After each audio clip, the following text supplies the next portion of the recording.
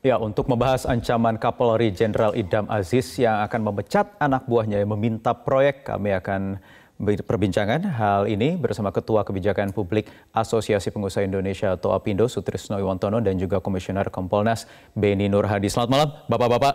Saya ingin ke Pak Sutrisno terlebih dahulu. Ini mungkin masih satu tarikan nafas dengan apa yang disampaikan Presiden Pak Sutrisno beberapa waktu yang lalu yang akan menggigit begitu uh, jajarannya yang masih nakal, yang masih mempersulit termasuk para pengusaha.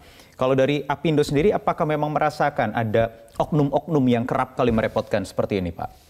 saya kira kan itu sudah menjadi rahasia umum rahasia ya. umum ya. Ya semua orang merasakan itu, tapi kemudian kalau kalau harus me, membuktikan itu kan kesulitan, ada hmm. juga yang tidak berani dan sebagainya. Kenapa kesulitan membuktikan kalau memang ada buktinya misalnya? Dan yang dirasakan atau dialami sendiri oleh pengusaha? Ya tidak mudah karena itu urusannya menjadi panjang kan. Kalau hmm. kita bisa selesaikan adalah gitu. Daripada kita berpanjang-panjang dengan dengan apa aparat begitu ya. Tapi begini, saya ingin melihat bahwa uh, ini kan rangkaian dari konsistensi Pak Jokowi hmm. ya, yang sebelumnya kan juga pidato mengatakan bahwa uh, pemangkasan ya. perizinan ya. di berbagai tempat hmm. gitu ya, kemudian juga penyederhanaan birokrasi ya, dan ini diikuti juga dengan ya. upaya-upaya ya. untuk lebih menciptakan uh, rasa nyaman di dalam mm-hmm. di dalam berusaha dalam berbisnis. Yeah. Yang memang kita uh, rasakan itu ada di lapangan. Ya. Mm. Tetapi menurut saya ya, yang penting itu nanti adalah pembuktian. Mm. Pembuktiannya itu begini, artinya memang harus ada orang yang ditangkap, ya artinya mm. ada Kapolres yang ketangkap, ada Kapolsek yang ketangkap ada oknum polisi yang terkena gitu mm -hmm. supaya kemudian dia memberikan efek jerah. Efek jerah. Sebab yeah. kalau kalau tidak itu nanti menjadi wacana gitu. Yeah, yeah, yeah. Padahal memang Jadi harus aksinya ini harus nyata dibuktikan begitu ya. Ya, saya kira hmm. itu yang kita kita perlukan okay. ya. Dan sebenarnya bukan hanya apa namanya oleh oknum hmm. kepolisian ya, tapi hmm. juga ada yang dilakukan oleh organisasi lain. Hmm.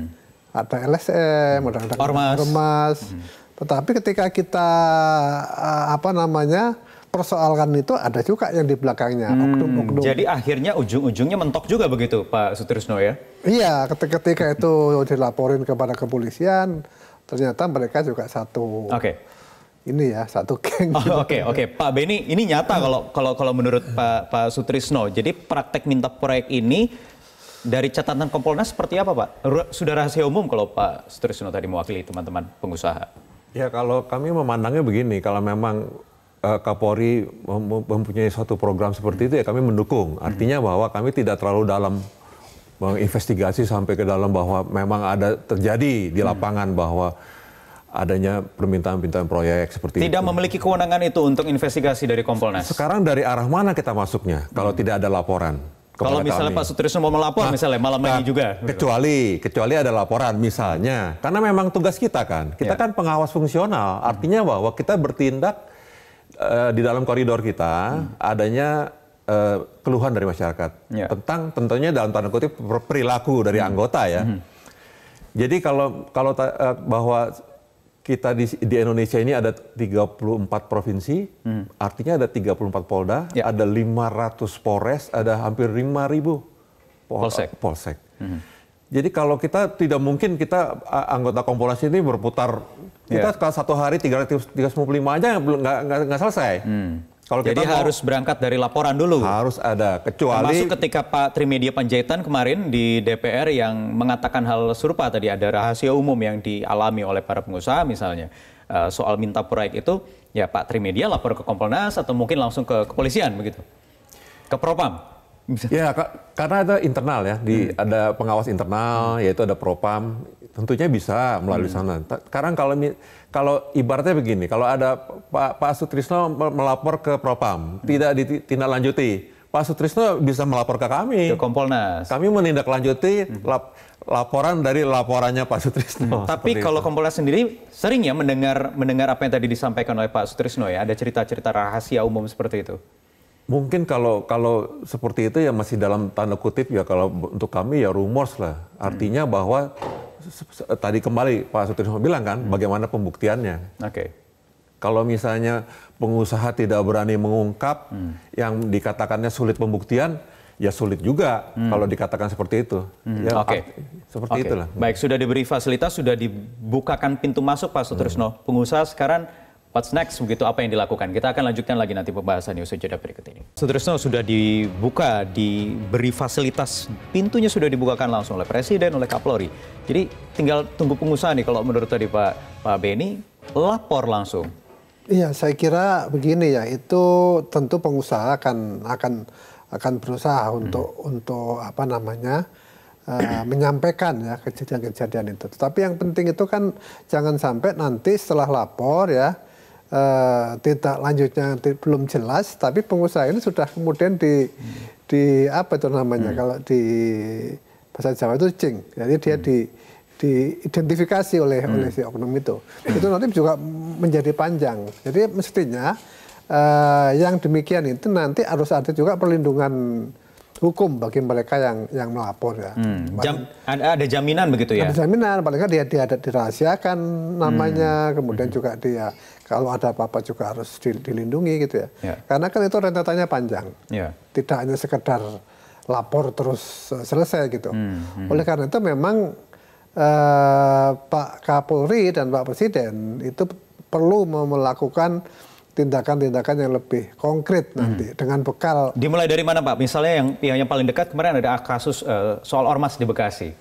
Ya itu dimulai dari situ. Ya, itu, dari situ dulu ya? ya. Dari situ coba kasus, kasus itu kan. Hmm. Yang viral-viral yang sudah jadi berita-berita itu dimulai dari situ aja. Kan kalau udah berita berarti itu ada asapnya gitu. Mm-hmm. Tidak usah nunggu laporan, mungkin orangnya nggak berani lapor, tapi sudah jadi berita yeah, kan, yeah, itu yeah. bisa dimulai. Atau Kompolnas punya punya punya pengawasan sendiri terkait isu yang ormas tadi di Bekasi misalnya, apakah sudah menjalankan fungsinya dengan baik kepolisian, teman-teman di kepolisian? Artinya begini ya, sebagai uh, pengawas fungsional, pelayanan uh, dari Polri itu sendiri mm-hmm. sebagai uh, pelindung pengayom pelayan mm-hmm. masyarakat kalau itu tidak berjalan, dilaporkan ke kami, kan seperti itu. Nah, hmm. sekarang tentunya kalau kita bicara soal peristiwa ini kan ada korbannya. Hmm. Korbannya itu pengusahanya, hmm. mungkin di bawah asosiasinya Pak Sutrisno. Ya, masih khawatir tadi kalau menurut Pak Sutrisno akan soal jaminan itu. Betul. Tapi kan kita harus move on nih Pak. Kita nggak hmm. bisa berjalan di tempat. Kalau mau begini-begini terus nggak ada selesainya, hmm. ya kan? Kalau misalnya ada satu ketentuan-ketentuan misalnya seperti tadi, ada perlindungan saksi kita punya lembaga pelindungan saksi, hmm. kita punya atau katakanlah bi, bi, hmm. katakanlah bahwa laporan kita ini jangan diekspos. Ya, kita ya. kita saya saya mau melapor ini. Oke, asal permintaan itu jelas hmm. dengan disa, Kal disampaikan bukti-bukti. Ya. ya kalau layanan publik Polri sendiri seperti apa? Kalau catatan Kompolnas? Untuk di Polri ya sejauh sejauh tidak ada laporan kami anggap fine-fine aja tentunya. Hmm. Secara Artinya, umum sudah berjalan dengan baik? Kalau kalau kita melihat kepuasan masyarakat secara umum ya, hmm. kalau kita bicara umum meningkatkan dari hari ke hari, Walaupun dari waktu masih, ke waktu. Hmm. Tapi kalau kita bicara kasuistik ya, dalam arti kata hmm. bahwa uh, kasus per kasus atau uh, bidang per bidang, hmm. mungkin kalau didalami ya belum belum semuanya sempurna seperti apa hmm. yang terlihat hmm. sekarang ini. Intinya hmm. bisa tidak Kompolnas mungkin uh, uh, me meri masukan ke Polri untuk menggunakan uh, fungsi uh, penyidikan misalnya tanpa harus ada laporan dulu. Misalnya kasus lagi, lagi-lagi tadi Pak Sutirus menyinggung kasus ormas yang di Bekasi kami, tadi. Tanpa kami, menunggu harus ada laporan terlebih dahulu. Kami kami bertanggung jawab terhadap presiden langsung. Dan hmm. itu kita dari waktu ke waktu memang ada okay. setiap tahun dua kali kita memberikan masukan sebagai arah bijak hmm. untuk Polri itu sendiri. Hmm. Kita kita memberi masukan kepada presiden. Artinya okay kita tidak bertanggung jawab kepada Kapolri, ya. tetapi bertanggung jawab kepada langsung kepada Presiden. Oke, jadi tinggal di pengusaha Pak Sutrisno, jadi jangan takut, jaminan sudah ya. ada, seharusnya ya. Kapolri sendiri yang sudah mengatakan. Tapi gini, saya pikir ya perlu uh, Kompolnas perlu lebih proaktif juga hmm. ya. Kalau ada kasus di media itu langsung aja gitu. Kan terus terang ke kami sendiri itu tidak tidak tahu bagaimana harus harus lapor ke Kompolnas dan hmm, sebagainya. Prosedurnya ya. Apalagi di ya, ya. di di daerah kan terus terang kita Pak Wahyu kalau Pak panggil baru saya bicara di di, di media. Oke. Oke, baik kalau begitu kita nantikan saja uh, pintu masuknya sudah dibuka sekali lagi tadi sudah difasilitasi tinggal ini siapa yang mau move on begitu ya, tadi ya. Betul. Pak Beni. Terima kasih Pak Beni Pak Sutrisno atas waktunya di Prime Time News malam hari ini. Di, ya, ya. di di daerah kan terus terang kita Pak Wahyu kalau Pak panggil baru saya bicara di di, di media. Oke. Oke, baik kalau begitu kita nantikan saja uh, pintu masuknya sudah dibuka. Sekali lagi tadi sudah difasilitasi. Tinggal ini siapa yang mau move on begitu Ya, tadi ya? Pak Beni. Terima kasih Pak Beni Pak Sutrisno atas waktunya di Prime Time News malam hari ini.